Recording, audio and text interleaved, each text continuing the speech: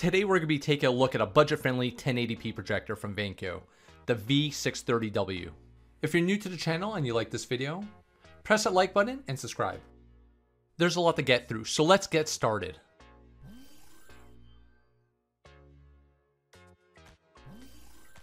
In the box, we have the user manual and the quick start guide, a lens cleaning kit, some screws, a AV cable for your RCA inputs, HDMI cable, projector remote, a power cable, a carrying case for the projector, and the projector itself.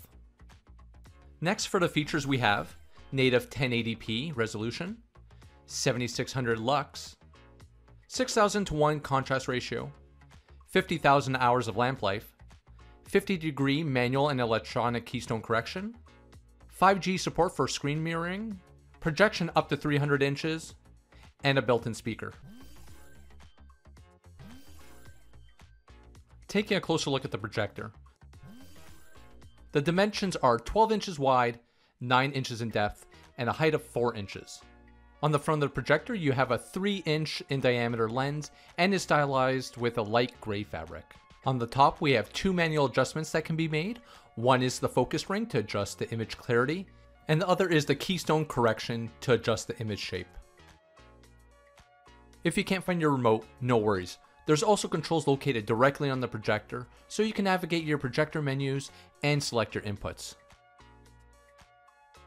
On the back, you're going to find a variety of different inputs, including a VGA input, two USB ports, one which supplies up to 5 volts of power, an IR sensor, AV input for RCA connections, a 3.5 millimeter audio out connection to hook up some external speakers, your power input, and just below the gray fabric we have our speakers.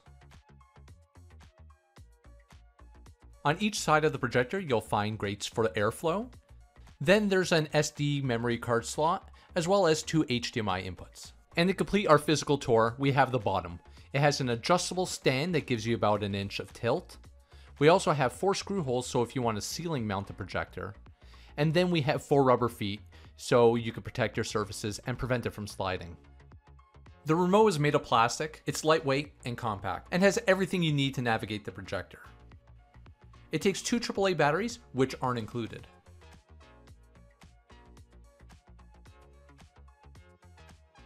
Like most projectors, you're going to have options to tweak your viewing experience to your personal preference.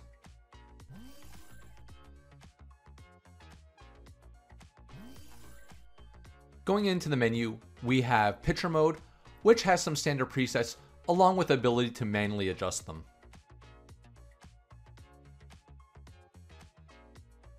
Color temperature also has your standard presets to make your image warmer or cooler.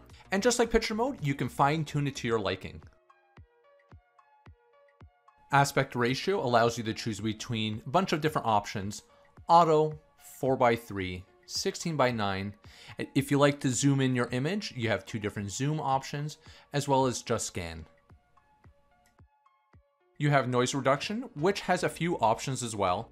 Projection direction flips the image to correspond to how the projector is physically placed. For example, if you had it mounted on the ceiling, you would need to flip the image vertically. Reduced display size is pretty handy, especially when you want to mount your projector further away from your screen. The further away your projector is from the screen, the bigger the projected the image will be.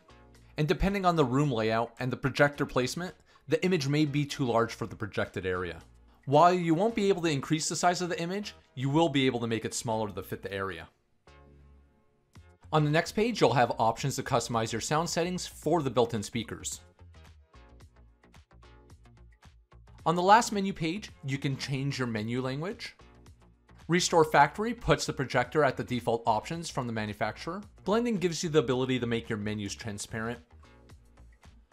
By default, the menu will remain visible until you close it, but you can set it to automatically close using the OSD duration. Keystone correction comes in handy. If the projector is not directly in line with the screen, the image is going to look more like a trapezoid rather than a square. Preferably, you'd want to move your projector around to get the perfect image, but if you don't have that option, that's when you use keystone correction.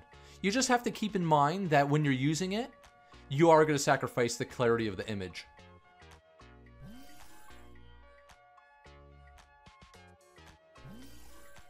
In order to select your input, you're going to either need to use the input selection on your remote or directly on the projector. Focusing on the most commonly used inputs, let's start with the screen mirroring.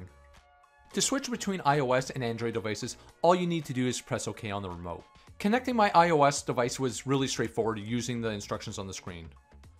But my Android device was a little bit different. It took me a bit longer to figure out what screen mirroring was called on my Samsung. Once I figured out it was called Smart View on my S9, the projector showed up right away and I was able to screen mirror without lag.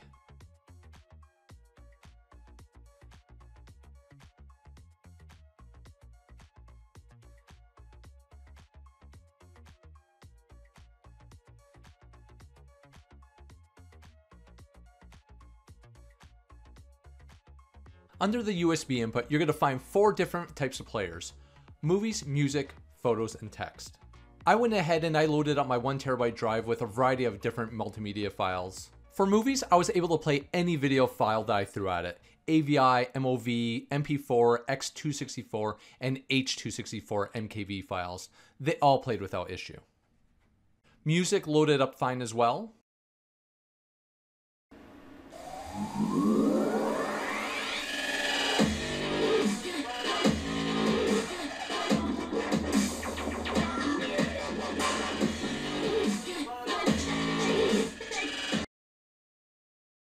And for photos, I found that it wouldn't play any image larger than 1.5 megabytes.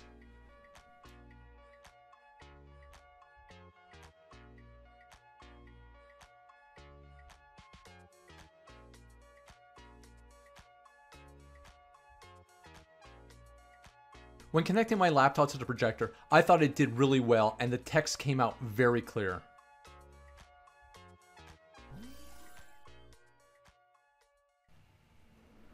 The built-in speaker is pretty loud, and the projector fan isn't noisy enough that it would distract you while watching a movie. I found once I got a movie going, the fan wasn't even noticeable. You're a rock star. How's it looking, Barley?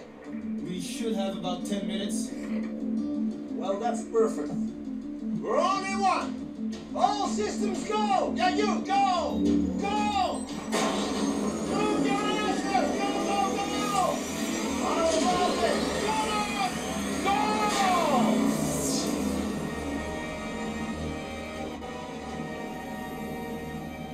That's nice. Nothing to worry about. Top.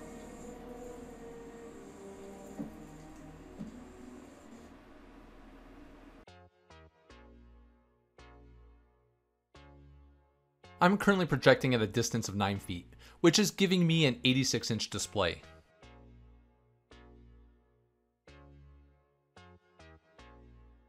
As you can see, the image is quite impressive. The brightness and the contrast is great, and it maintains detail throughout the image. While I was watching videos with a lot of motion, I noticed no stutter or lag.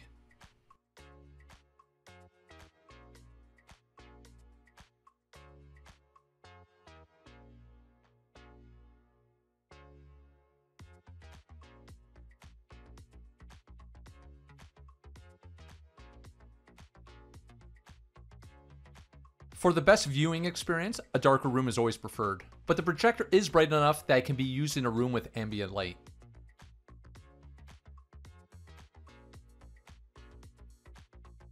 If you're looking for a movie theater experience without leaving your home and breaking the bank, at less than $300, this projector could be the perfect fit for you. So this is where I'm going to end the video today. All the product links can be found in the description down below. And since you're there, hit that like button and help the channel grow by hitting that subscribe button to get all the latest videos. Thanks again for watching and I'll see you on the next one.